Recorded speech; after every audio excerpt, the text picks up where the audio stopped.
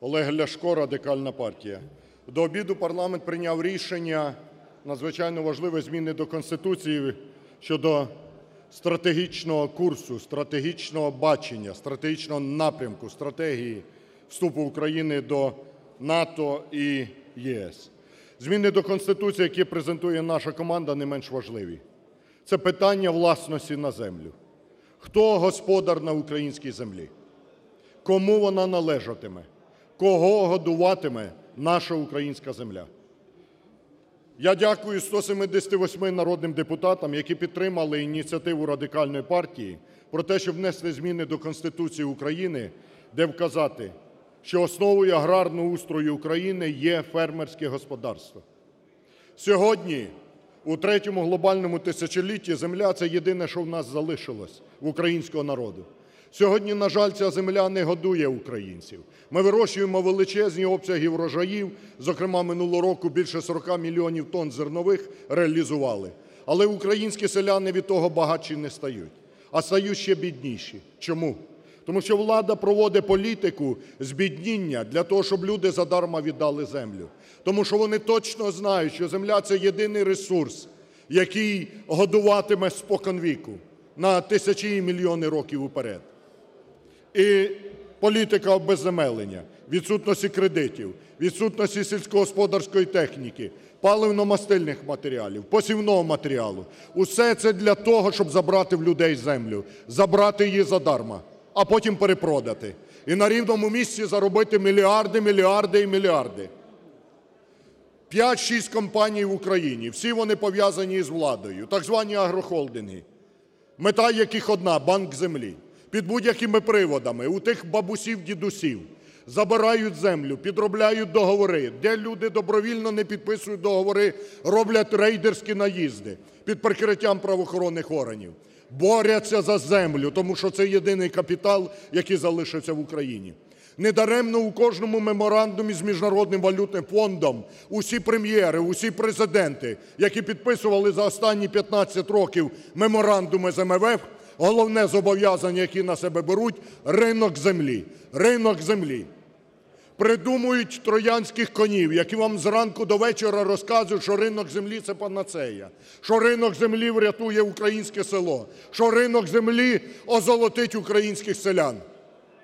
Брехня з однієї причини. Тому що в українських селян немає грошей, щоб купити ту землю. Тому що в результаті дій влади у них немає можливості навіть купити хімдобрива чи паливно-мастильні матеріали, не кажучи вже за те, щоб купити ділянку. Тому що прийдуть конкуренти, транснаціональні корпорації, які мають можливість у своїх банках брати кредити під 0% річних. Ешелонами привезуть сюди гроші, пусті папірці, які не варті нічого, які друкуються цілодобово, 25 годин на добу. І ці пусті папірці віддадуть за реальне багатство українського народу, за землю. А гроші, ви знаєте, більшість з вас, це вода. Сьогодні є, завтра немає. А віддати землю – це означає позбавити українську націю майбутнього, обезземелити селян, приректи їх на вічне жебратство, а українську націю – на побирання. Тому що якщо ми тільки виконаємо той план, який нав'язує нам влада, і продамо землю, ведемо ринок землі, це означає, що ми ніколи не зліземо із голки залежності МВФ. Це означає, що ми ніколи не станемо успішною, багатою, конкурентоздатною нацією у цьому глобальному світі. Тому що ми самі, як колись папуаси взамін брескальця, який Міхлуха Маклай давав, відмовлялись від свого золота, отак нам сьогодні взамін пустих папірців хочуть виміняти наше багатство – землю. Президентські вибори, які будуть наступного року, це не просто вибори Президента, це вибори курсу, куди йде Україна. І це вибір, хто буде господарем на українській землі. Якщо нинішні маріонетки, керовані зовні, отримають перемогу, чи ті, хто сьогодні за гроші транснаціональних корпорацій рветься до влади, український народ позбудеться свого головного багатства – землі. Саме тому ми пропонуємо сьогодні, проголосувавши зміни до Конституції, визначивши, що господарем на українській землі є український фермер, український селянин, це ми фактично забиваємо осиновий кілок у груди транснаціональних глитаїв, які хочуть забрати в українського селянина землю. Ми змусимо будь-який уряд, будь-яку владу, коли в Конституції буде прописано, хто господар на українській землі, що господарем є український селянин. Ні одна влада не зможе обійти цю норму, тому що треба буде 300 голосів, щоб її скасувати. Я вірю, що в цьому залі ніколи не буде 300 голосів, щоб забрати у селян землю. Я вірю, що в цьому залі знайдеться 300 голосів, щоб визначити майбутнє нашої країни як найсильнішої країни світу. Як Саудівській Аравії чи Еміратам Господь дав нафту, так українцям Господь дав землю. Але нафта сьогодні є, завтра немає. А при правильному підході до господарювання, при відновленні тваринництва, при підтримці соціальної сфери на селі, при державній політиці дотування українського фермера, створення для нього умов, українська земля вічно назавжди годуватиме український народ. Тому що ті труднощі, які сьогодні є, в обмін на якими влада ходить, побирається по всьому світу за кредитами. При радикальній зміні економічної політики ці труднощі економічні можна здолати. Я в цьому абсолютно впевнений. Ми можемо прожити без кредитів МВФ. Ми можемо злізти з голки залежності. Ми можемо відновити свою промисловість і свою економіку при правильній економічній політиці і радикальній зміні економічного курсу, який пропонує радикальна партія.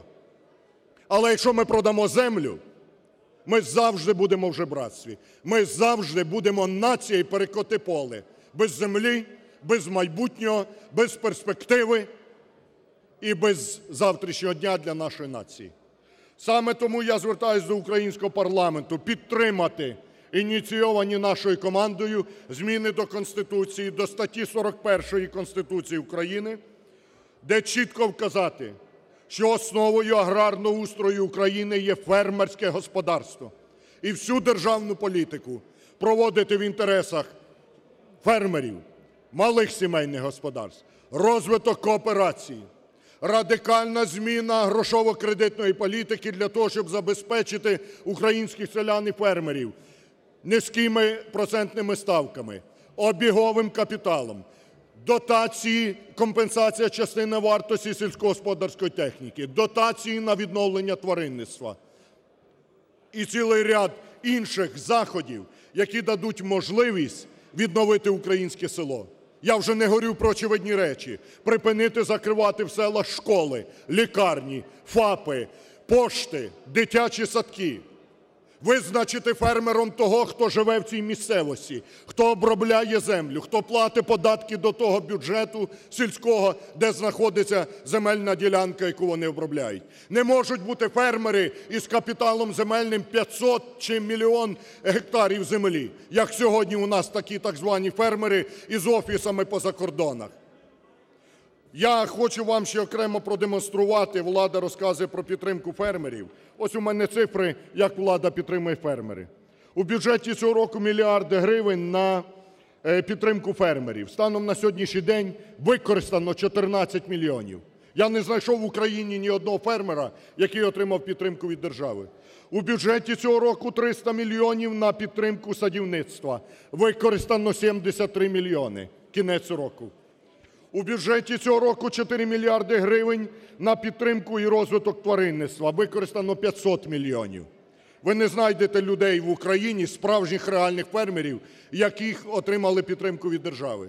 Усі ці мільярди отримують олігархи, транснаціональні корпорації, латифундисти, справжній виробник, який тримає корову, справжній виробник, який створює робочі місця, справжній селянин, бабуся чи дідусь, які хочуть господарювати на землі, не мають державної підтримки. Ми зробимо цю підтримку. Ми дамо селянам дотації на утримання корів. Ми доб'ємося прийняття в парламенті антирейдерського закону, щоб фермерів, селян не віджимали землю, не віджимали майно. Ми доб'ємося повернення спецрежиму оподаткування ПДВ, щоб в автоматичному режимі сільгоспвиробники отримали підтримку і не треба було розносити хабарі чемодани грошей, щоб отримати підтримку від держави. Ми приймемо закони про розвиток кооперації і підтримку сімейного фермерства. Але ключ до всього – власність на землю. Зміни до Конституції, які ми пропонуємо, зроблять господарем українця на рідній землі. Отже, зараз 3 хвилини запитань до автора законопроекту.